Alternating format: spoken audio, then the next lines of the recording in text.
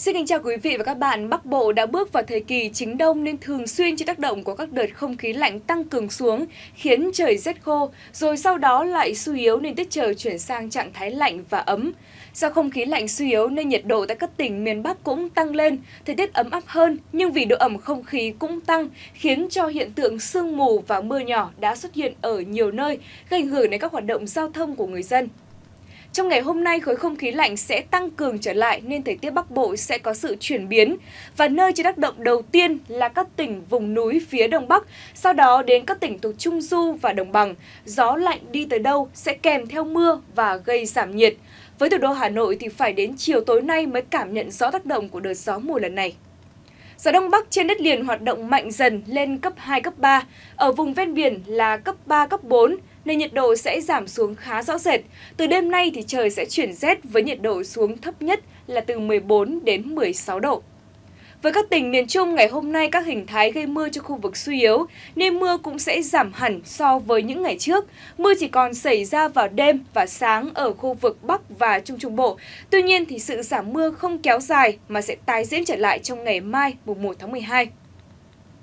Mưa giảm nên nhiệt độ trưa chiều tăng lên và dao động từ 23 đến 26 độ tại các tỉnh từ Thanh Hóa đến Hà Tĩnh và từ 27 đến 30 độ đối với các tỉnh từ Quảng Bình trở vào đến Bình Định, Khánh Hòa. Còn riêng tại khu vực Ninh Thuận và Bình Thuận, nhiệt độ sẽ tăng lên mức là 30 đến 31 độ. Trong ngày hôm nay, rãnh áp thấp gây mưa cho khu vực Tây Nguyên và Nam Bộ đã yếu đi, nên mưa cũng giảm hơn so với 24 giờ trước.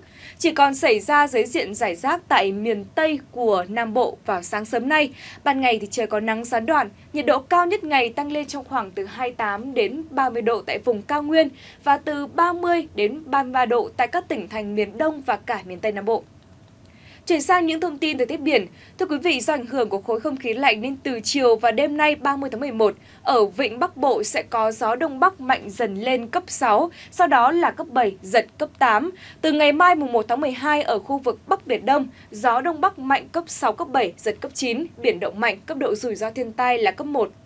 Do ảnh hưởng của rãnh thấp có trục vào khoảng 6 đến 8 độ vĩ Bắc, nên ở khu vực giữa và Nam Biển Đông bao gồm cả vùng biển quần đảo Trường Sa, vùng biển các tỉnh từ Bình Thuận đến Cà Mau, Cà Mau đến Kiên Giang và Vịnh Thái Lan sẽ có mưa rào và rông mạnh. Trong cơn rông thì có khả năng xảy ra lốc xoáy và gió giật mạnh cấp 6, cấp 7.